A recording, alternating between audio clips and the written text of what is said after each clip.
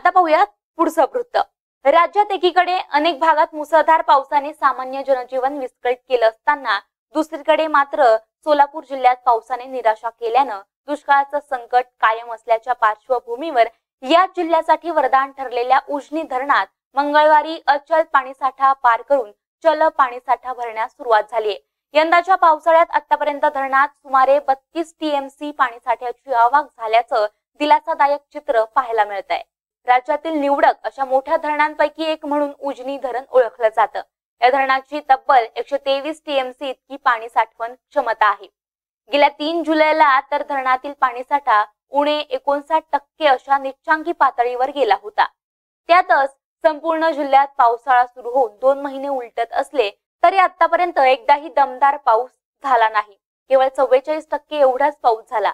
त्यामुळे सार्वत्रिक निराशेचा सूर असताना शेवटी उजनी धरणात पाणीसाठा वाढू लागल्यानं सर्वांना दिलासा मिळाला. गेल्या तेवीस दिवसात धरणात बत्तीस टीएमसी एवढ्या पाण्याची आवक झाली आहे.